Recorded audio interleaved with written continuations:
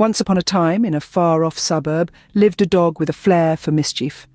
We'll call our canine protagonist Max, a Labrador retriever with a zest for life that was as large as his appetite for doggy treats. Now, Max wasn't your ordinary lab. Oh no, he was a mastermind in his own right.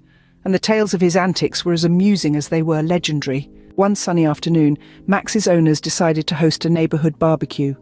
Max, being the social butterfly he was, couldn't resist the opportunity to be the centre of attention.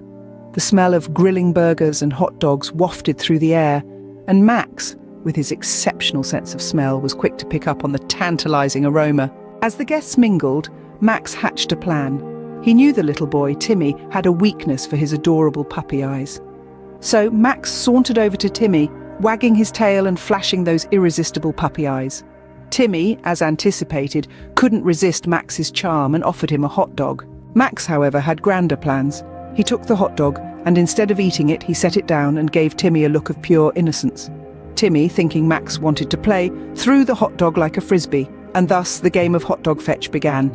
Max would bring back the hot dog, Timmy would throw it, and the cycle continued. Unbeknownst to Timmy, with each throw, Max was getting closer and closer to the grill. With the final throw, Max made his move. He darted towards the grill, and in one swift motion, he swiped a juicy steak with his mouth and bolted away, leaving the guests in a state of shocked amusement. Timmy, though initially confused, couldn't help but join in the laughter as Max, now sitting a safe distance away, proudly chewed on his stolen prize.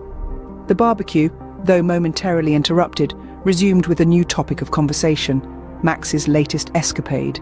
In summary, Max, the Labrador mastermind, managed to turn a simple game of fetch into an elaborate steak heist.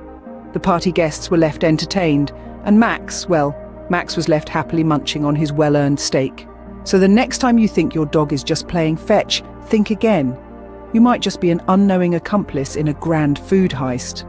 The moral of the story? Never underestimate the intelligence of a dog, especially when there's food on the line. After all, they say every dog has its day. And for Max, that day was filled with steak and laughter.